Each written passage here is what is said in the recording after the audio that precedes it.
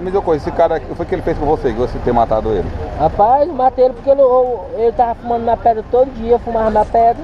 Como assim? Tu guardava a pedra e ele pegava escondido? Não, deixava na mão dele. Ah, tu pedia pra ele guardar a pedra, né? Não, ele vendia pra mim. Não, capitão, tá aí. Ele relata mesmo que matou o, o rapaz na Zona Sul, lá próximo pé de Piqui, na Vila Irmã Doce. Levou de bicicleta e lá deu uma paulada e jogou palha em cima e tocou fogo. Ele é frio, né, comandante?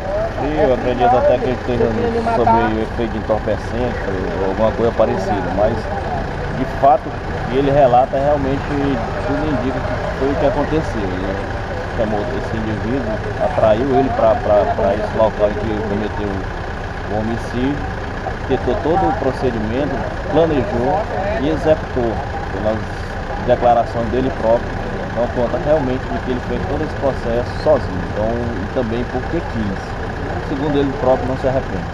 Agora você se entregou, agora vai, vai, ser- vai esperar agora a justiça tomar de A conta. justiça tomar de conta.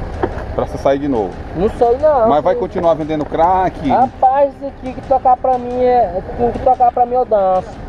Então tá aí, saiu ele que fala realmente que confessou.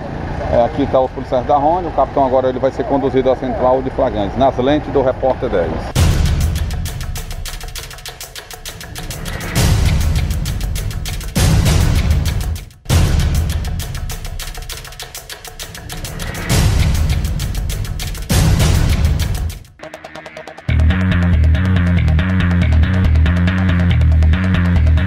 Repórter 10 aí, que acaba de chegar a viatura da área do 5 Batalhão, que as informações é que foi capturado mais uma arma de fogo na capital. Vamos conversar aqui com o Sargento Kelso, ele vai falar sobre essa apreensão de arma na Zona Leste de Teresina. Mais uma vez a equipe tática do 5 Batalhão mostrando o trabalho